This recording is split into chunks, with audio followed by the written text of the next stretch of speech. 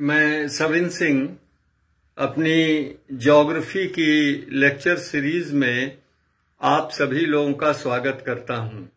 आज हम स्थानीय पवनों, खास करके चिनूक और फहन पवन पर चर्चा करेंगे today I will discuss on the local winds particularly Chinook and foehn Chinook हवा उत्तरी अमेरिका में राकीस पर्वत के पूर्वी ढलान की पदस्थली पर चलने वाली एक गर्म और शुष्क हवा है, जो संयुक्त राज्य अमेरिका के दक्षिण में कोलोराडो से लेकर के उत्तर में कनाडा के ब्रिटिश कोलंबिया तक प्रवाहित होती है। Chinook is a warm and dry local winds that prevails on the foothills of eastern slope of Rockies Mountain from Colorado of United States of America in south to British Columbia of Canada in the north. ये Chinook हवा को Chinook क्यों कहते हैं इसका नामकरण पश्चिमी संयुक्त राज्य अमेरिका के तटीय क्षेत्र में रहने वाले जो आदिवासी थे मूल निवासी थे, उनका नाम, वो चिनूक थे। उन्हीं के नाम पर इस गर्म और शुष्क हवा का नाम चिनूक किया गया है। The name Chinook wind has been derived from the original tribes Chinook living on the western coast of north America mainly United States of America अब हमें इनकी विशेषताओं के पहले इसकी उत्पत्ति के विषय में चर्चा करनी चाहिए। We must know the process of mechanism of origin of Chinook winds actually वास्तव में चिनूक हवा चक्रवाती उत्पत्ति वाली है। और actually the Chinook wind is of cyclonic origin शरत काल में प्रशांत महासागर से उठने वाले, बनने वाले चक्रवात पूर्व दिशा की तरफ़ चलते हैं और संयुक्त राज्य अमेरिका के पूर्वी तटी पहाड़ियों को पार करके, जब ये राकीस पर्वत के पश्चिमी ढलान के सहारे ऊपर उठते हैं तो यहाँ पर हवाओं का तापमान शुष्क एडियाबेटिक रेट से प्रति एक हज़ार मीटर ऊपर जाने पर कम होता जाता है। When the moisture laden wind associated with cyclonic storms coming from over the Pacific ocean cross over the coast ranges and strikes the western slope of Rocky mountains the winds are forced to ascend and therefore the winds cool down, temperature drops at the rate of 10 degrees centigrade per thousand meter according to adiabatic rate. इस तरह से ये चक्रवाती हवाएँ राकीस के पश्चिमी ढलान पर पर्याप्त वर्षा करती हैं। लेकिन जब ये राकीस को पार करके पूर्वी ढलान के सहारे नीचे उतरती हैं तो पुनः शुष्क एडियाबेटिक रेट से इनके तापमान में 1000 मीटर नीचे जाने पर 10 डिग्री सेंटीग्रेड की दर से वृद्धि हो जाती है। The cyclonic storms ill precipitation on the western slope of the Rocky Mountains, but whenever the winds cross over the Rockies mountain, and descend along the eastern slope, the temperature rises at the rate of 10 degrees uh, centigrade per thousand meter according to diadiabatic rate. अब जब राकीस पर्वत के पदस्थली के पास नीचे उतरती हैं उस समय वहाँ शरत काल का तापमान माइनस टेन से माइनस ट्वेंटी डिग्री सेंटीग्रेड होता है लेकिन इन हवाओं का तापमान 10 से 20 डिग्री सेंटीग्रेड होता है। जैसे ही ये हवाएँ वहाँ पहुँचती हैं, अचानक तापमान जो है 20 से 40 डिग्री सेंटीग्रेड हो जाता है। आई एम सॉरी 20 से 30 डिग्री सेंटीग्रेड हो जाता है। जिस कारण सतह पर जो हिमावरण होता है, वो अचानक पिघल जाता है।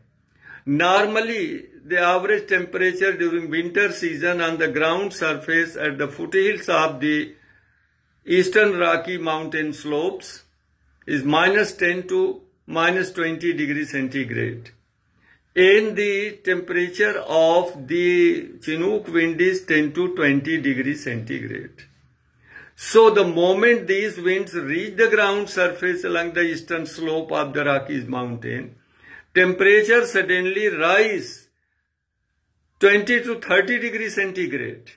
And therefore, the snow, the ice, melts it as if by magic.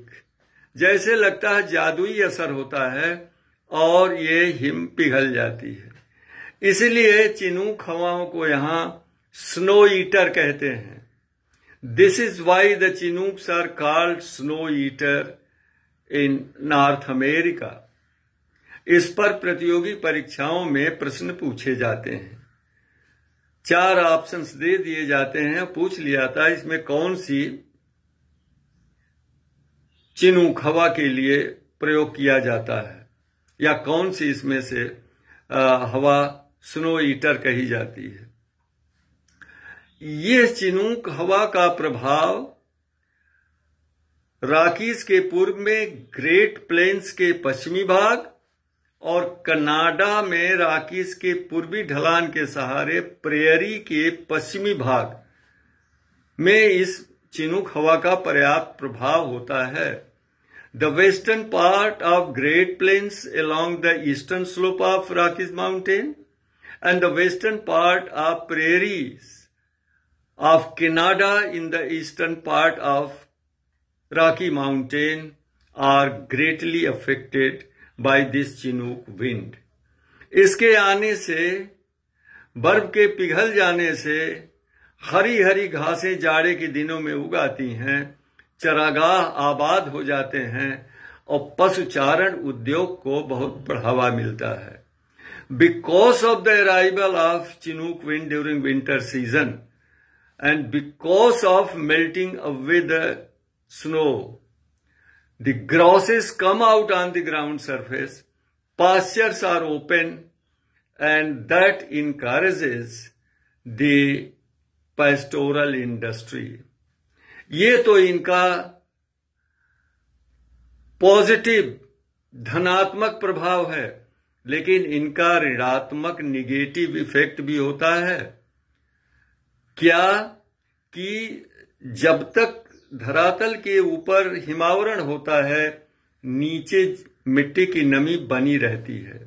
लेकिन जैसे ही ये हिमावरण पिघल जाता है तो मिट्टी की नमी जो है वाष्पीकरण द्वारा शुष्क हो जाती है, जो स्प्रिंग सीज़न में गेहूँ की खेती के लिए नुकसानदेह होता है। The negative impact of Chinook winds is that during winter season, till the ground surface is covered by snow and ice, the moisture of the soils below remains intact. But whenever the ice cover and snow cover is removed, because of arrival of Chinook wind, the moisture in the soil is evaporated. The soils become dry and that is not beneficial to agricultural activity, particularly sowing of spring wheat. इसी तरह से कि हवा Europe में Switzerland दक्षिणी Germany और Australia में प्रवाहित होती है जबकि आर्द्र हवाएँ रूम सागर के ऊपर से आती हुई आल्स पर्वत के दक्षिणी ढलान पर पर्याप्त वर्षा करती हैं लेकिन उत्तर की तरफ़ आल्प्स को पार करके जब नीचे उतरती हैं तो गर्म और शुष्क हो जाती हैं similar wind to Chinook is called Foehn in Switzerland, southern Germany, and Austria.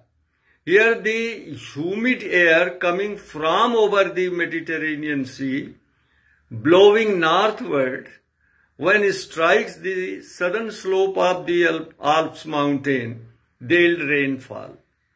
But when they cross over the Alps mountain and descend along the northern slope, they are warmed up according to dry adiabatic rate and they become dry and warm. And such conditions are found in the valleys of Switzerland, southern Germany and Austria. जब ये हवाएँ foehn wind Switzerland की घाटियों में पहुँचती हैं तो बर्फ़ पिघल जाती है और शरदकालीन मौसम सुहाना हो जाता है होटल्स रेस्तरा और पब खुले रहते हैं और चारों तरफ़ चहल पहल व्याप्त हो जाती है। So when ever these foehn winds reach the valleys in Switzerland then there is a very pleasant weather because of melting away of ice and snow the hotel restaurant and pubs are open and therefore the tourist industry flourish in the valleys of Switzerland during winter season. This is why the valleys of Switzerland are called climatic oasis. यही कारण है कि Switzerland की घाटियों को जलवायु नखलिस्तान कहते हैं क्लाइमेटिक ओसिस कहते हैं ये इनका पॉजिटिव इम्पैक्ट है यहाँ पर स्विट्जरलैंड में, जिस कारण टूरिस्ट इंडस्ट्री जो है, वह जाड़े के दिनों में भी खुली रहती है, आबाद रहती है। धन्यवाद।